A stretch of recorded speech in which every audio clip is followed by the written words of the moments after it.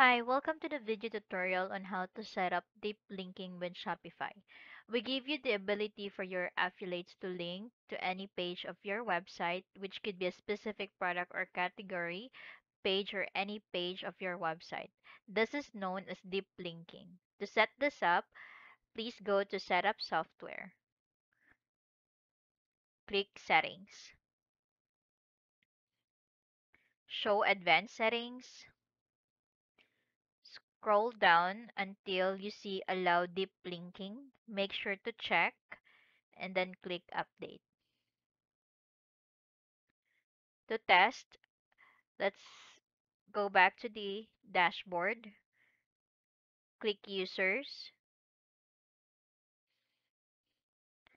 Search for any users. Click the pencil icon. Log into the user interface for this user. Now, the affiliate user can see an extra link building icon. The affiliate can put the page product link and click add link from here. And then you also have the option to delete and copy the link. Thank you for watching. Goodbye.